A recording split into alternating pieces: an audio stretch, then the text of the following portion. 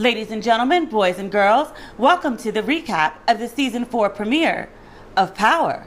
Ghost is arrested. Ghost is getting locked up. Of course, Ghost didn't kill Greg, but you killed 20 other people. He should have been locked up a long time ago. He's good at avoiding the cops, hence the name Ghost, but we're not gonna act like this is a stand up gentleman. This man is a serial killer. I've lost count of how many people he's killed. Ghost getting locked up, like you, you kind of need to be locked up. You kind of deserve to be locked up, all things considered. I mean, and granted, you only kill other people that were in the drug game, right? So, they kind of knew the life they were signing up for when they signed on to be drug dealers, but you're also a drug dealer. Either getting killed or getting locked up is is part of the job description. So I feel bad for the kid. I, I, hurt for them. I feel bad for them. I don't really feel bad for Tasha. You were about this life. You lived the upside of it. You've got the penthouse apartment in the sky. You've got the cars. You've got the jewelry. You've got the clothes. Your kids in private school. But that was never guaranteed to last. You had a long run. I don't have any sympathy. I want him to, to get out is to antagonize Angie because she's just the most arrogant, self-righteous. Oh, she drives me nuts. I just want her to be proved wrong. because I don't want Latino Mike to get away with killing Greg. But honestly, I like seeing him in jail because we get to see Charlie Murphy. Rest in peace. I I, I love that dude. I'm really happy to see him here, but sad to see that someone who brought so much joy to others no longer with us. But Charlie Murphy, he ain't taking no shit. He he was like, "Oh, you're a cop killer. I'm a I'm gonna knock your food over. I'm gonna take your mattress." Did y'all notice how after Ghost found out Charlie Murphy took his mattress, he did a quick moment. He fought the air like Cuba Gooding Jr. and Boys in the Hood. He's, oh, Charlie Murphy ain't holding no cut cards for a cop killer. Tariq, they wrapped that storyline up real quick. At the end of last season, Kanan and his crazy ass cousin, played by Anika Noni Rose. I knew Anika Noni Rose had range. I didn't know she had that kind of range. They drugged Tyrese and abducted him and sent a note to Tasha demanding some ransom. So I'm thinking like, oh my gosh, is Tariq gonna live? Because you know, Kanan killed his own damn son, and I figured once you're comfortable enough to kill your own kid, nobody's really safe. I was very worried about Tariq. Tasha calls her husband to tell him that Tariq has been abducted. He's not answering the phone because he's getting locked up. So she calls Tommy. Tommy goes to Dre because he knows Dre is tight with Tariq. Dre pops over at Kanan's house and was like, yo, y'all got Tariq?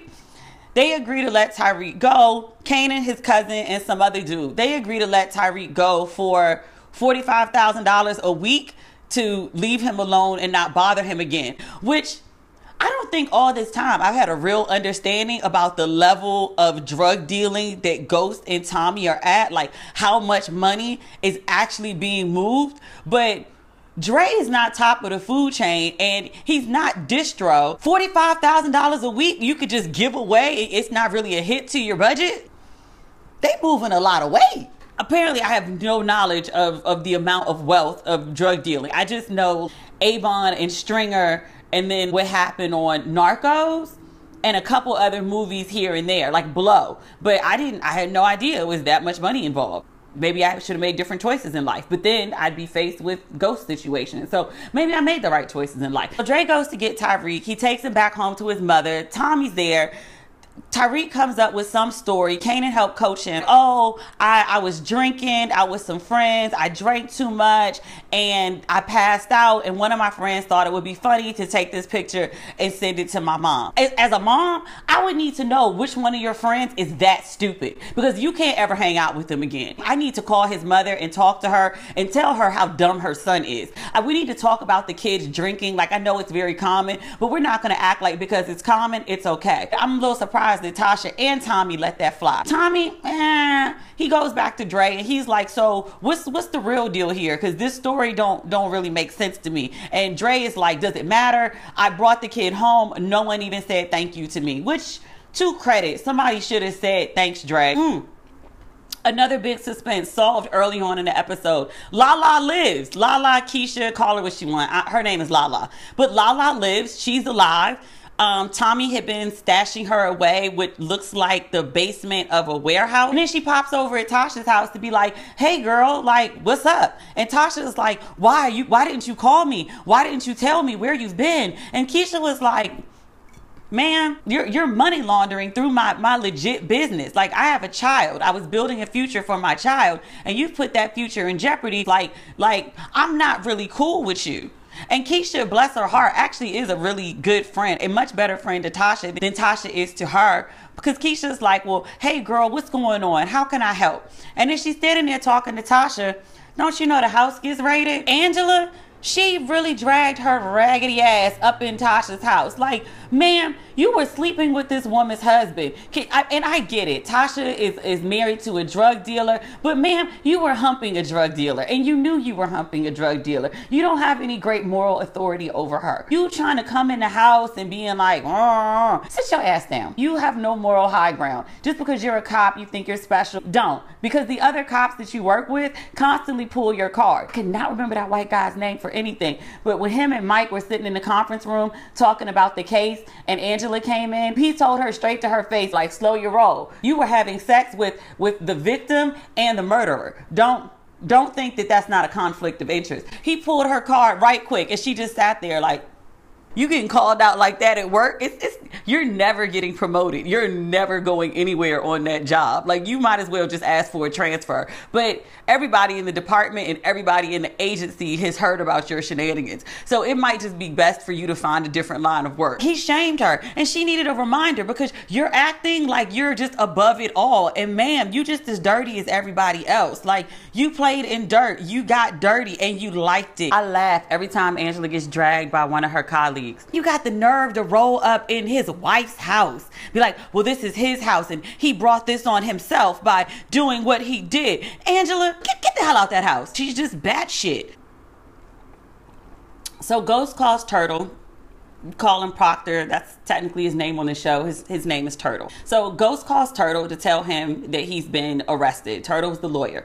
So he shows up the next day to see Ghost, and Ghost says that he's been arrested for basically Angie wanting revenge on him for breaking up with her. Ghost is very adamant. He's like, I did not do this. Turtle tells Jamie about the evidence that the prosecution has against him. Basically, there's fingerprints on the outside of a window, and he, uh, Greg had Jamie's DNA under his nails. He tells him that it's going to take a while to get him out of jail, but in the meantime, he needs to act like a very upstanding citizen, somebody who wouldn't have no interest in a gun, who wouldn't know what to do with a gun. He's just a business owner who's being wrongly prosecuted. And then after, Turtle calls Tasha and it's like, hey, we're going to need to raise some bail money. You need to find $2 million.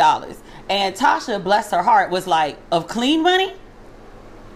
Tasha goes to the bank only to find out that Jamie has taken all the money out. He leaves her a note that says, I'm sorry, Tasha, I'll put it back. Tasha asks about the stocks. He's like, oh, there's, there's no stocks. Your husband took care of that. He screwed himself because Tasha's not the one that needs the money. She's scrambling trying to find money to get you out of jail. Tasha's having trouble coming up with the money. She's gonna, there's some other things. She was gonna get the money out of the trust fund, but the penalties are too steep. So she's like, I don't know what to do. I don't know how I'm gonna find this money. Tasha, bless her heart, goes to jail the next day and was like, hey, it's, it's a really rough time. You know, I can't find any money because you spent it all without telling me. Like, so you're broke, I'm broke. We have no assets. We don't own the apartment. We don't have any collateral. Like, you don't own the building for truth. And you taken all the money that we had saved for events like this and spent it on yourself. Ghost has an idea. Call Dean. I don't really remember the backstory with Dean.